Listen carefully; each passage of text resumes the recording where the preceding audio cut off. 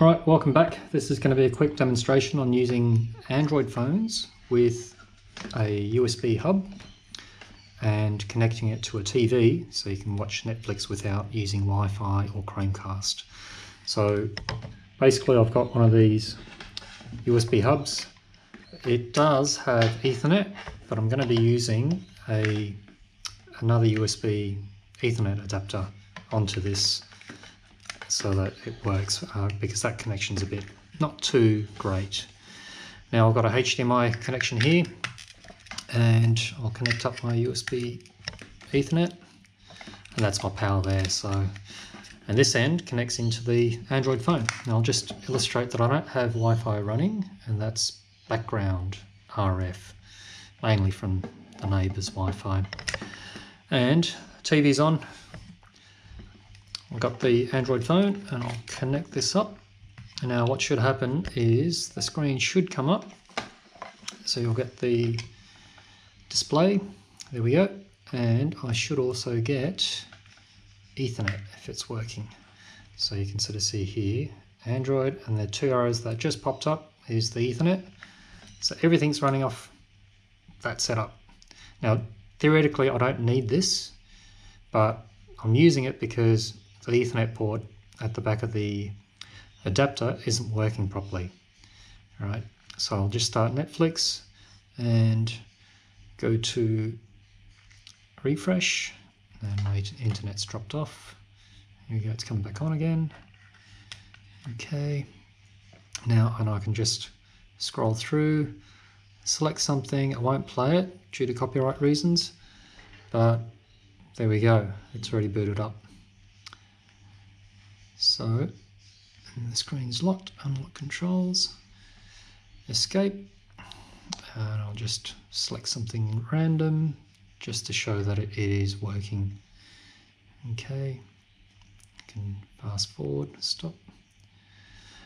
And that's the same for uh, Prime Video as well. So if you guys use Amazon Prime Video, you've got the option there. And I'll cancel that. So this is only for a demonstration, but it is pretty good. And all the audio goes through the HDMI into the TV and you know you can I think you can adjust it here without a problem. Exit playing. And literally you could web browse off your TV as well. So oh, I've lost my signal. Just insert it again. So this adapter is a really old one. Uh, actually, I'll show you now what it is.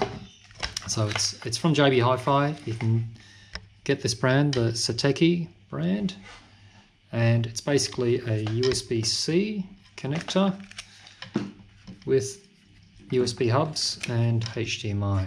That's the Ethernet port there and the power. So this one's fairly old, so that's why the connections aren't that great. Uh, I've used it a lot across my laptops and phones. So, you know, it's probably time for a new one. But that's been a good five, six years worth of use. So that's why the, the connections aren't that great at the moment, but it does work and there's no Wi-Fi needed. So just reconnect that again and everything should come back up.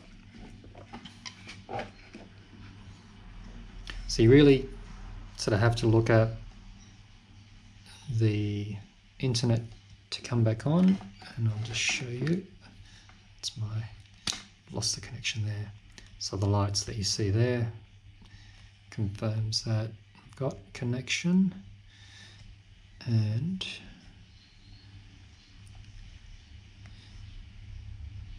I can go through and select anything. So I've lost the connection again. So yeah, so it's the cable's a bit old, so that's why it's starting to drop in and out as I move around. But hopefully you get you get the idea. It does work. But if you get a brand new one, you would not have this issue that I have because this one's really old. Here we go. Internet is coming back up.